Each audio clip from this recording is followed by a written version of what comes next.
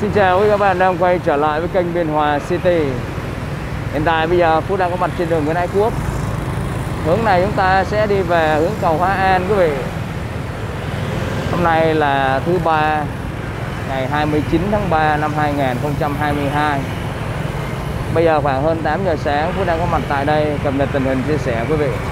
Quý vị xa nhà xa quê hương xem video cho đỡ nhớ nha. À, Ngay chỗ này là khu chung cư cao tầng Nguyễn Văn Trỗi này. Siêu thị Metro hồi xưa, bây giờ là Mega Market. Đoạn đường à, đẹp nhất Biên Hòa đây quý vị. Cây xanh mắt rượi, con đường thẳng tắp, rất đẹp. Buổi sáng, thời tiết trong lành, gió nhẹ nhẹ. Đi trên con đường này cảm giác nó rất là thoải mái bên này là khu chung cư cao tầng Nguyễn Văn Trỗi. À, ở dưới cái công viên là buổi sáng có những quán cà phê để cho mọi người làm việc và sinh sống ở đây. Người ta xuống người ta uống cà phê ăn sáng. Khá là vui. Phú đi trên cái đoạn đường này và đưa quý vị đi qua à, con đường mang tên là đường Hồ Văn Đại đi qua xóm nhỏ cây tràm. Hôm nay chúng ta tiếp tục dạo quanh một vòng biên hòa xem tình hình hôm nay như thế nào quý vị nhé. Quý vị xa nhà xa quê hương xem video cho nó nhớ nhé. Tới chỗ này chúng ta sẽ gặp một cái ngã tư. À, quý vị rẽ tay trái qua đường chúng ta sẽ đi qua đường Hồ Văn Đại là đi qua à, chợ nhỏ cây tràm đó còn à, rẽ tay phải này quý vị đi qua đường à, Nguyễn Du đi vào à, khu văn miếu Trấn Biên. Đây tới đây thì Phú sẽ đứng chờ cái đèn đỏ.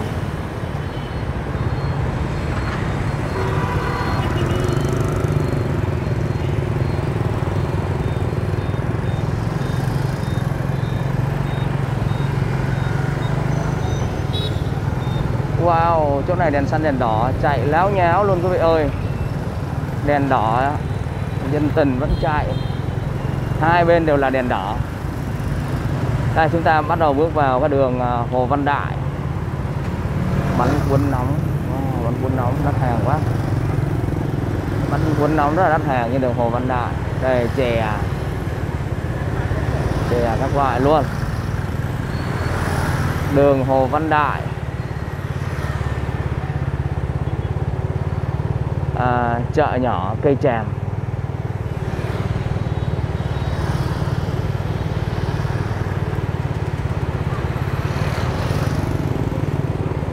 Hôm nay Phú đi lại à, cái con đường này quý vị à, nhìn ngắm lại, xem hôm nay có gì thay đổi hay không quý vị nhé đấy, quý vị thấy là buổi sáng ở trên con đường này, người ta bán đồ ăn sáng, quá trời luôn. Ngay chỗ chợ nhỏ cây tràm này.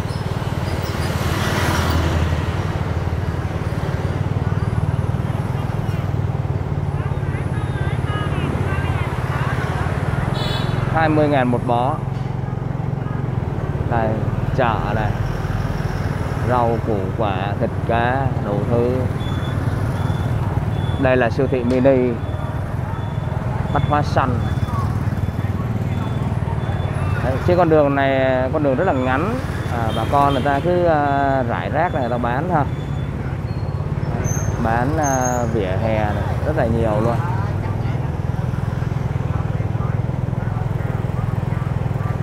Bên này là bên uh, khu kiosk chợ này.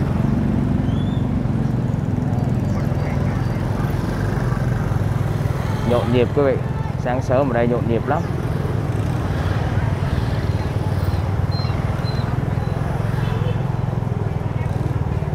Đi thẳng đường này thì chúng ta sẽ ờ, đi ra đường ờ, cách mạng tháng 8 ấy chỗ này ngã ba này xe cộ chạy lao nhau hết rồi.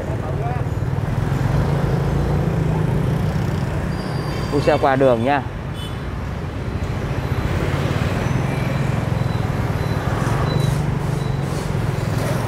Này tôi sẽ qua đường.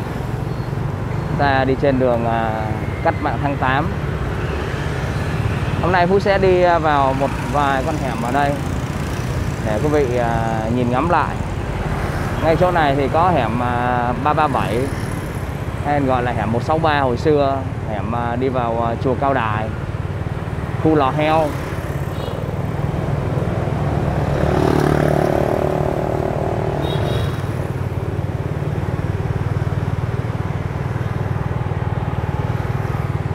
Buổi sáng ở khúc chỗ này khá là nhộn nhịp quý vị.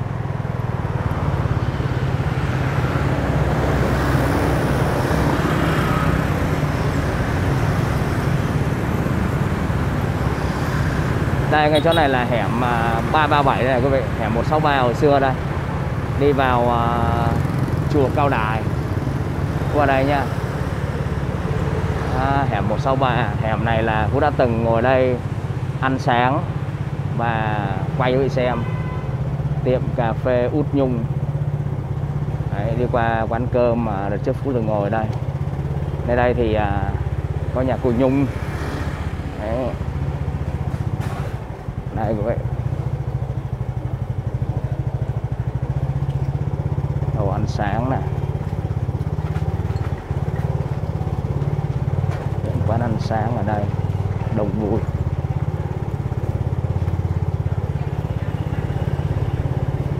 Ngay chỗ này là thánh thất cao đài, tân thành. Sửa chữa đây này. Bún.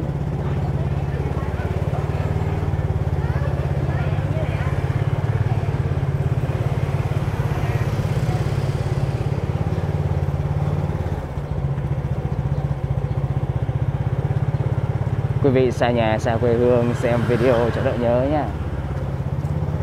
Cái này à, đi vào khu lò heo. Chậm chậm rồi cho quý vị à, nhìn ngắm lại cái khung cảnh ở đây.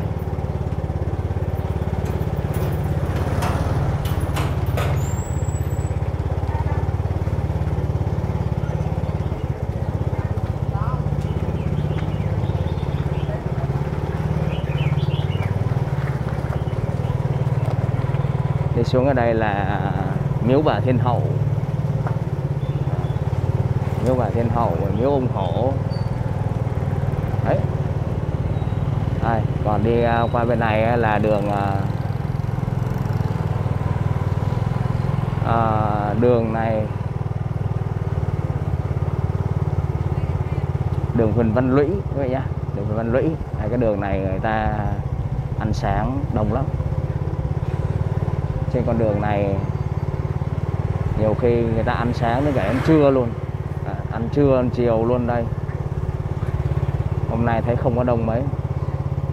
Quán xá rất là nhiều vậy ha. Có rất là nhiều người người ta ở những cái nơi khác. À, người ta đã quen rồi. Người ta vẫn tìm đến đây người ta ăn. Ăn uống rồi dịch vụ nói chung là người ta đã quen ở đâu rồi ấy. Là cho dù ở đâu thật là xa người ta cũng tìm về người ta ăn.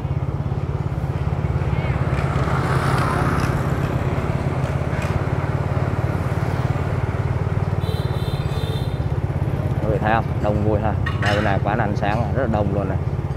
Đấy, kín bàn luôn. Đường Huỳnh Văn Lũy ngay khu vực à, dốc sân banh quý vị Đấy, trước mặt quý vị đó là sân banh Biên Hòa sân banh mini. Sân banh này à, sắp sửa giải tỏa đi rồi quý vị. Sắp giải tỏa đi rồi chuẩn bị à, bàn giao rồi. Đây khu này đường Huỳnh Văn Lũy này quý vị thấy không? Ánh sáng đông lắm. Đó ánh sáng rất là đông ha.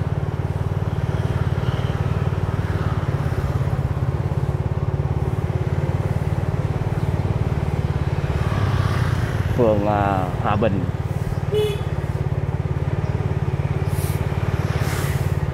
Khu lò heo.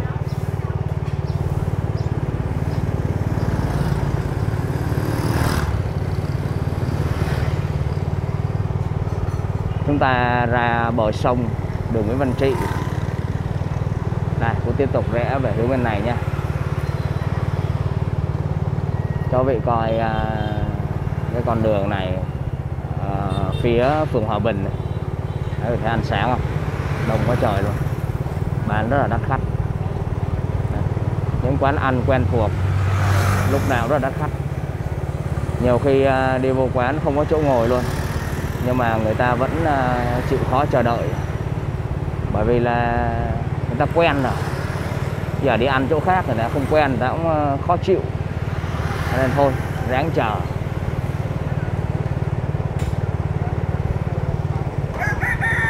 Đây là ngay bờ sông buổi sáng mát lắm quý vị. Sáng đi trên con đường này rất là mát.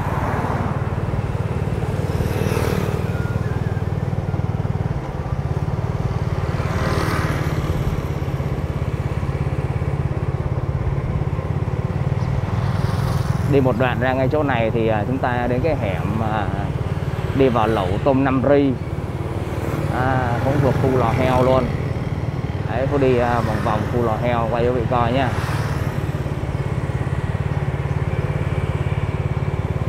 đây, cái chỗ này là cái hẻm đi vào lẩu tôm năm ri này. Lẩu tôm năm ri, đi vào 99 mét.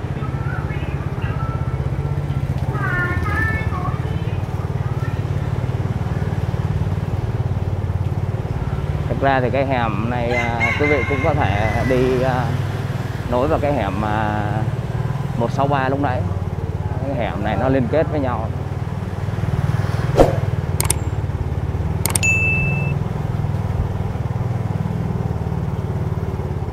Tôi đi vòng vòng qua những con hẻm này quay vị coi. Ở đây ta đang làm nhà này xây nhà. Nhìn cái miếng đất nó xấu xấu như vậy thôi quý vị. Bây giờ chỉ cần có một cái hố thôi cũng được nữa chứ không cần phải là cái miếng đất bằng là cái hố cái ao cái hồ cũng được nữa. Đấy. xong rồi người ta sẽ à, san lấp mặt bằng. Rồi người ta sẽ xây lên một căn biệt thự đẹp tuyệt vời. À, xây xong căn nhà cái là nhìn không nhận ra luôn.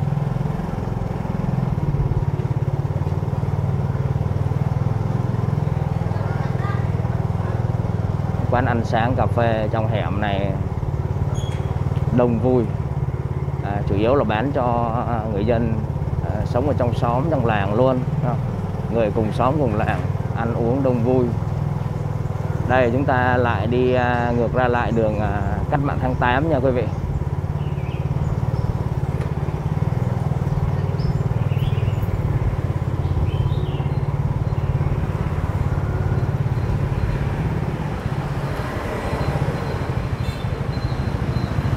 Tới đây thì à, Phú sẽ à, đi ngược lại cái đường à, Hồ Văn Đại.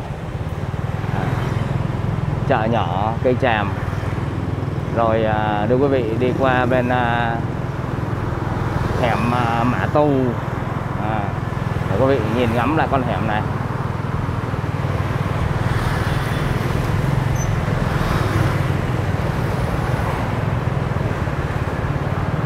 Đây bây giờ Phú sẽ qua đường nha quý vị.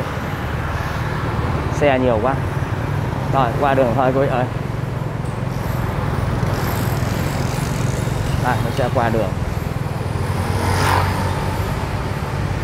Đây là đường Hồ Văn Đại Chợ nhỏ cây tràm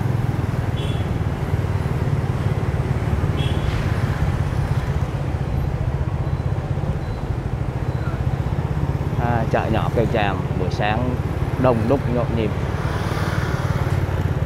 giờ cao điểm của các bà, các chị, các em đi chợ. Đây tôi sẽ à, rẽ vào cái hẻm ngoài đây, là hẻm mã tù đây.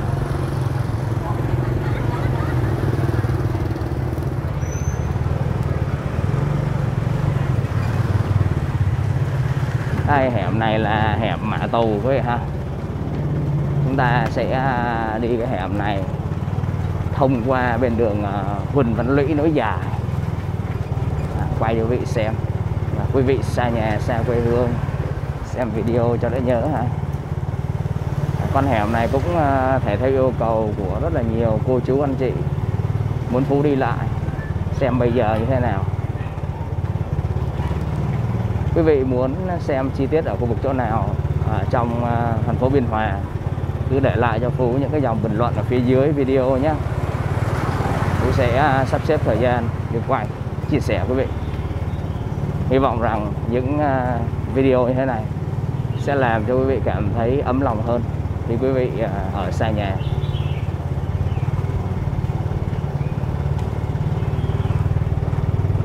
Ở ngay chỗ này ấy, bây giờ cái đường này người ta mở ra này quý vị. À, người ta mở ra cái đường này này là quý vị à, có thể đi thẳng ra đường Nguyễn Ái Quốc hoặc là quý vị à, đi xuống cái chỗ mà khu chung cư cao tầng Nguyễn Văn Trỗi này. Đấy, hồi xưa thì nó cũng có cái đường nhưng mà đường nhỏ lắm xấu. Bây giờ người ta làm cái đường to như này này đó, còn không thì à, quý vị sẽ đi thẳng cái đường này thì à, nó cũng ra đường Huỳnh Văn Lũy nó dài thôi. Đây cô đi cái đường mới này để cho quý vị nhìn cho nó xem như thế nào nhé. Ở đây người ta mở cửa hàng tạp hóa cô phượng này.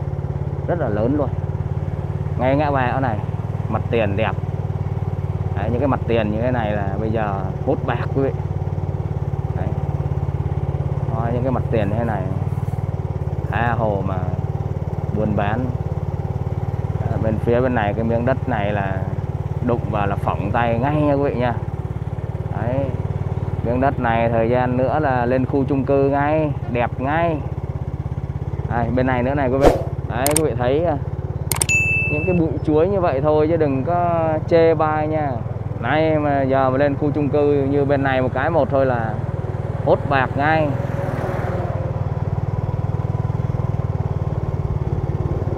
Đấy, con đường này là người ta mới trải nhựa về sau này.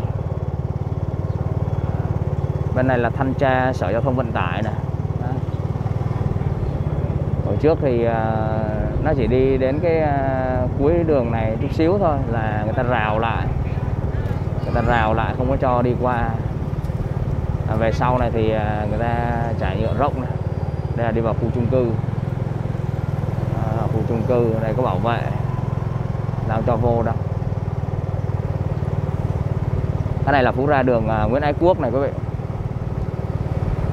À, ra đường Nguyễn Ái Quốc đây thì phú đi như này để quý vị à, nhìn thấy được cái con đường mới. Chứ còn à, lúc nãy đi cái đường à, hẻm mã tù á đi thẳng là nó cũng qua đường uh, Huỳnh Văn Lũy thôi. Đi đây là quý vị nhìn cái, cái đường mới. Rồi đến lát nữa phú cũng lại trẻ vào cái đường uh, Huỳnh Văn Lũy. À, cho quý vị coi cái đường. Trong khu chung cư này quý vị nhìn này đấy ăn sáng cà phê đông vui ha đấy, những quán cà phê ở bên dưới sân của khu uh, chung cư. Đấy, thấy không? Đó. Đông vui nhộn nhịp. Sáng sớm rất là đông luôn. Đấy, mọi người ở mọi nơi hoặc là bà con người dân người ta sinh sống ở khu dân chung cư này. Đấy, người ta ăn uống ở đây. Đây là cái cổng đi vào thì có bảo vệ không đi vào được. À, chúng ta ra cái đường à, Huỳnh Văn Lũy nối dài này quý vị. Thấy cái đoạn đường này sầm mốt không? Rất nhộn nhịp luôn. Xe hơi đi ăn sáng cà phê đông vui quá trời. Đấy cái hẻm mà tù thì nó ở phía trên nó đi ra bây giờ phú sẽ đi qua cái hẻm này nha. Cái hẻm này gọi là cái hẻm bắc hà đây. Hẻm bắc hà. Sẽ đi qua bên đường ờ, phan đình phùng, quý vị nhá. Hẻm này là hẻm bắc hà. Đi qua đường phan đình phùng đây. Cũng là một con hẻm được rất là nhiều cô chú, anh chị yêu cầu phú đi lại.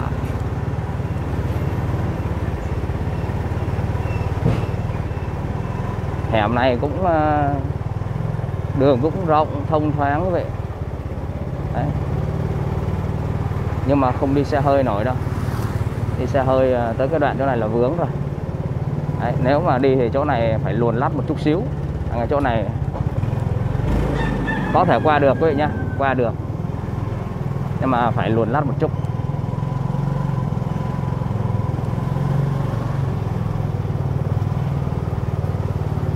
Ô, đường này rộng quý vị ơi đường này xe hơi thoải mái. Cái chỗ lúc nãy thì à, phải luồn lách một chút và đi qua cái uh, ga hơi nguy hiểm. Hố ga nhìn nó khá là cũ.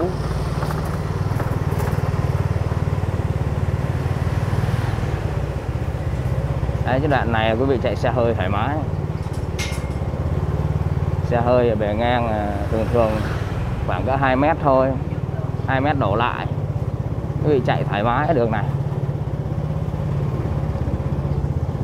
Hẻm Bắc Hà. Chỗ này có cái miếu đình ở đây.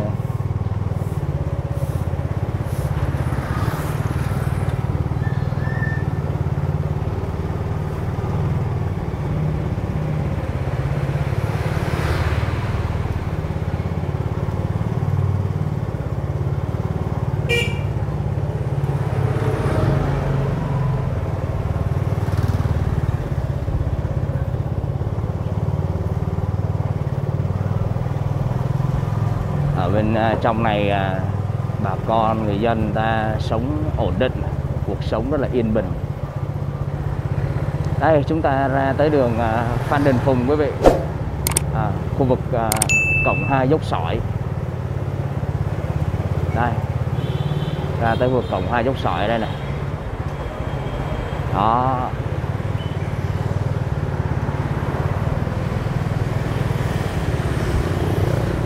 Phú sẽ qua đường. Và đưa quý vị à, đi qua tiếp một con hẻm nữa ngay chỗ này. Đây là khu vực cổng hai dốc sỏi quý vị. À, đi qua bên kia đường là cổng 2 sân bay Biên Hòa. Cũng lại tiếp tục đưa quý vị à, đi vào con hẻm sát ngay chỗ này. Đây chúng ta sẽ đi vào con hẻm ở ngay chỗ này. Con hẻm chỗ này là nó thuộc uh, khu phố 4 và khu phố 5 của phường Trung Dũng. À, cái đường chỗ này mới vô quý vị tưởng là hẻm cụt nhưng mà vẫn đi được nha quý vị. Bởi vì có ngôi nhà này người ta xây giữa đường này. Đấy. Cái đường đi hai bên. Nhìn cái đường có vẻ như hẻm cụt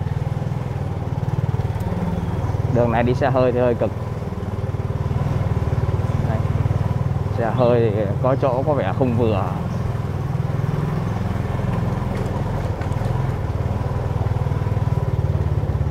Vừa sát luôn. Này là chạy vừa sát luôn.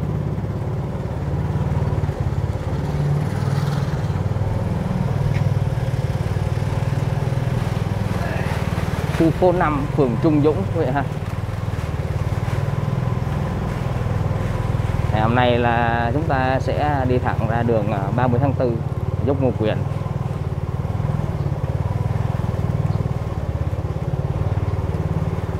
Ở trong cái hẻm này ờ, có khu di tích của ông ờ, lăng mộ của ông Trịnh Hoài Đức quý vị.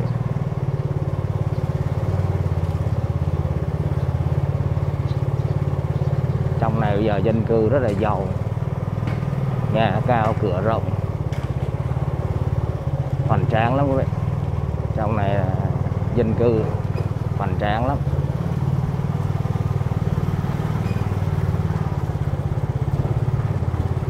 Đây có miếng đất trống này đó cấm đổ rác có nghĩa là cứ đổ rác. Đi qua cái cầu nhỏ. Nói chung là chỗ nào mà cấm đổ rác á, có nghĩa là cứ đổ rác nha quý vị. Ô cái đường này hoa giấy nhiều đẹp quá quý vị ơi ô con đường màu sắc hoa quý vị này. Ấy, không hoa vàng thì cũng hoa hồng hoa trắng. Ô cây hoa giấy này nở hoa nhiều đẹp quá. Quý vị nhìn thấy cây hoa giấy này. Ô đẹp quá quý vị. Ôi ôi quá xa đẹp luôn.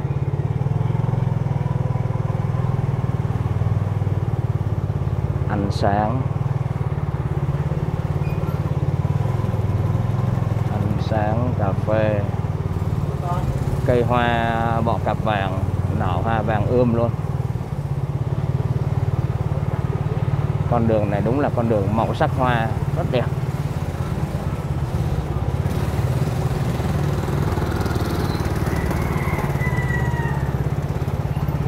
Quý vị xa nhà xa quê hương xem video cho đỡ nhớ ha. À, hôm nay cũng đi qua khá là nhiều con hẻm quý vị có thể nhìn ngắm lại.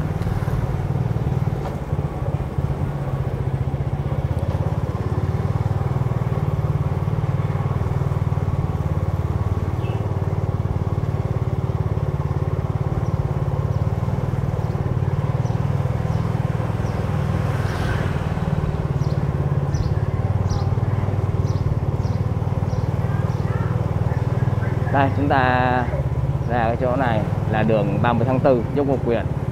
Hẻm này có tên là hẻm 39 quý vị. Chỗ này ta đang đào cống đào mương. Bẩn lắm. Đây. đó cắt cây xanh đào cống đào mương. Chạy xuống một chút là công viên biên hùng rồi quý vị. Đó, đây là công viên biên hùng nè.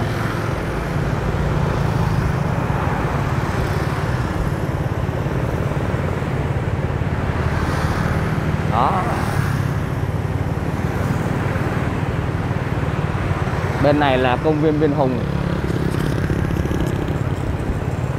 Cái chỗ này là ngã năm công viên biên hùng. Vòng xoay tháp đồng hồ. Đó.